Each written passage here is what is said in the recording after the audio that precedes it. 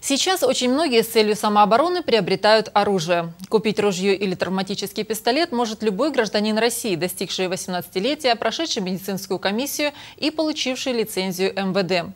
Но, к сожалению, есть и такие граждане, которые все эти требования считают излишними, а потому предпочитают хранить у себя дома незарегистрированное оружие, что небезопасно как для самого владельца, так и для окружающих.